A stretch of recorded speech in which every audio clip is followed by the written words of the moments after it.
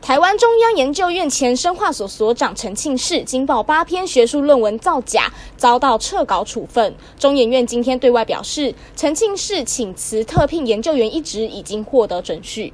陈庆世在美国研究的论文，早在二零一六年就被发现涉嫌造假。当时美国俄亥俄州大学接获通报后，随即开始调查，发现最主要的问题在于研究员并没有按照规定每天记录研究结果，而是以每周进度报告取代，被怀疑美化研究数据。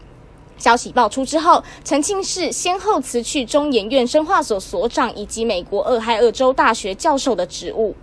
昨天，美国俄亥俄州大学调查报告正式出炉，认定确实有蓄意伪造数据的例证，因此建议陈庆世从二零零六到二零一四年发表的八篇论文立即撤下。